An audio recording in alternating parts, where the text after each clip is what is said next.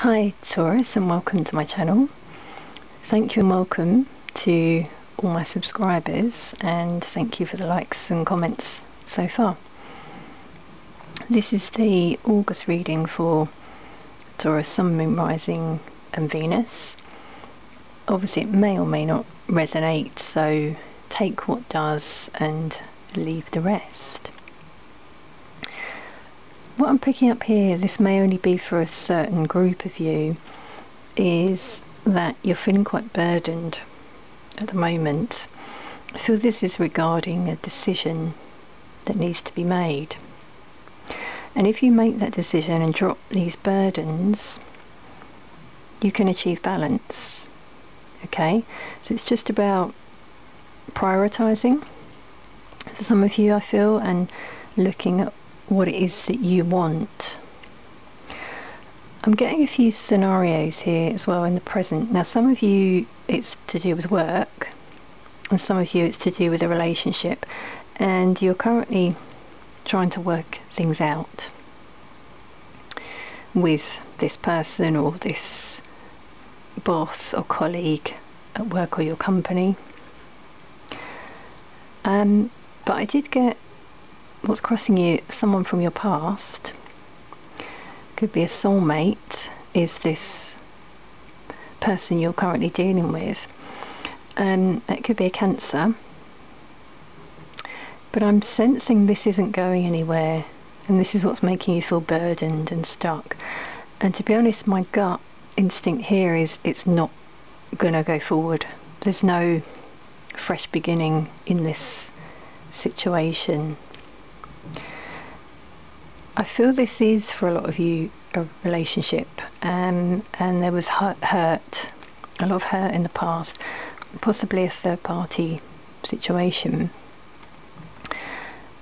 And it could have been with an Aquarius, um, but there was so much hurt and burden that you couldn't heal, or you felt you couldn't heal. Okay, and you may still be healing at the moment in your recent future you're going to have to make a decision and take a leap forward okay? So a lot of you are stuck and you know you need to take this leap and this decision is going to need to be made.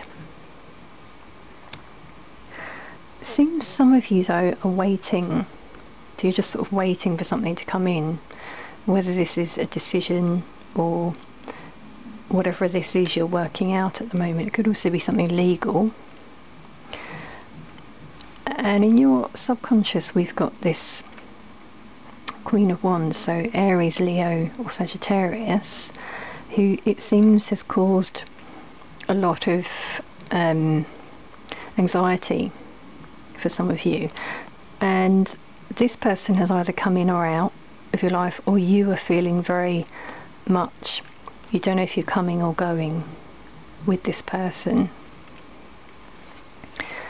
Some of you have chosen though to be single and independent. Okay, and you are very stable.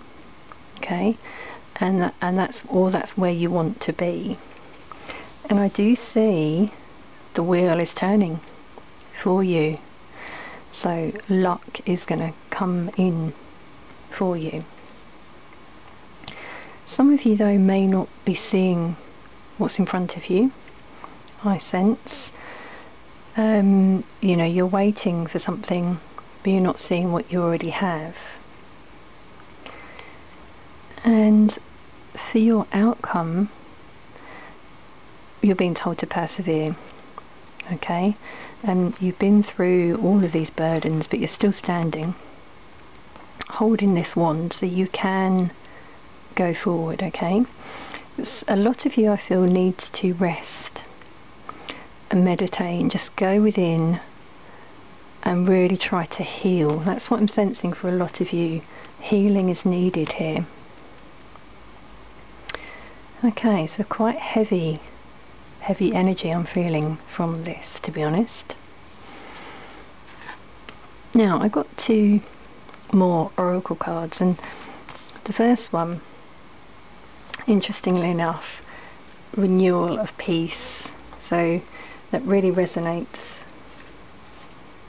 with this Four of Swords here, talking about needing rest.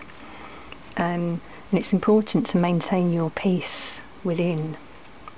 If you can allow your inner power to heal, that will return your inner peace to you.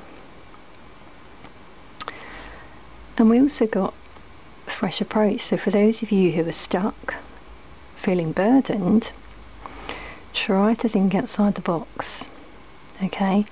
And try something new. Maybe something you hadn't thought about before. And I feel that's where this rest meditation could really help you to find the answers you need.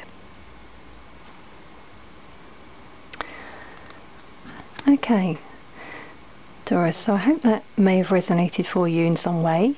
Um, please do comment, like and subscribe. Um, the video for this month with the most likes will actually get a bonus video as well. So see you again soon.